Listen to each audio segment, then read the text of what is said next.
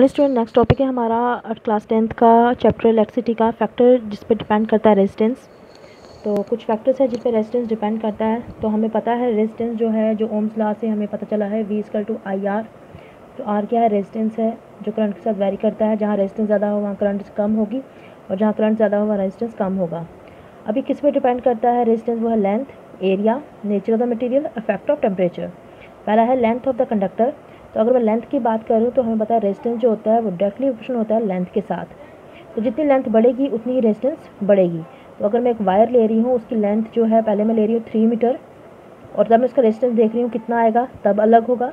और अगर मैं टू मीटर ले रही हूँ, तब अलग होगा। अब किसमें ज़्यादा होगा? थ्री मीटर में रेजिस्टेंस ज़्यादा होगा टू मीटर में कम होगा। क्योंकि रेजिस्टेंस जो है लेंथ के साथ बढ़ता है। जितनी लंबी वायर लोगे, उतनी ही रेजिस्टेंस बढ़ेगा। करंट को फ्लो करने में दिक्कत आएगी। और जितनी कम तार जितनी कम तार वायर लोगे, उतनी ही क्या होगी? रेजिस्टेंस जो होगी, वो क्या करेगी? घटेगी और करंट बढ़ेगी।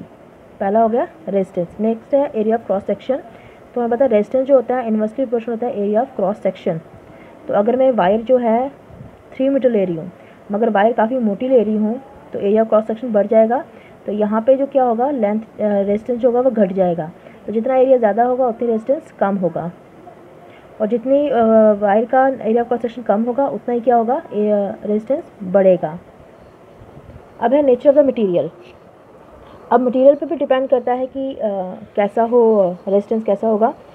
अब जो रेजिस्टेंस है कंडक्टर का डिपेंड करता है नेचर ऑफ़ द मटेरियल किसका बना हुआ है। कुछ मटेरियल का लो रेजिस्टेंस होता है जैसे सिल्वर कॉपर अल्मोनियम और कुछ का हाई रेजिस्टेंस होता है जैसे अलॉय जैसे निक्रोम कॉन्स्टेनियम इनका हाई रेजिस्टेंस होता है। इसलिए हम निक्रोम को यूज़ करते हैं हीटिंग इफ़ेक्ट के लिए, जैसे हीटर में, टोस्टर में इलेक्ट्रिक आयरन्स में। और नेक्स्ट है इफ़ेक्ट ऑफ़ टेम्परेचर तो रेजिस्टेंस जो है कंडक्टर का वो बढ़ता है अगर हम टेम्परेचर बढ़ा रहे हैं और सेमी कंडक्टर घटेगा अगर हम टेम्परेचर बढ़ा रहे हैं। इंसुलेटर जहाँ पे करंट पास ही नहीं करती, वहाँ पे इंक्रीज़ करेगा किसके साथ? टेम्परेचर के साथ। जितना टेम्परेचर बढ़ेगा, उतना उसका रेजिस्टेंस बढ़ेगा। और रेजिस्टेंस इलेक्ट्रोलाइट का कम घटेगा अगर हम टेम्परेचर बढ़ाएँगे। और रेजिस्टेंस अलॉय का जो होगा, वो बढ़ेगा जैसे हम टेम्परेचर बढ़ाएँगे।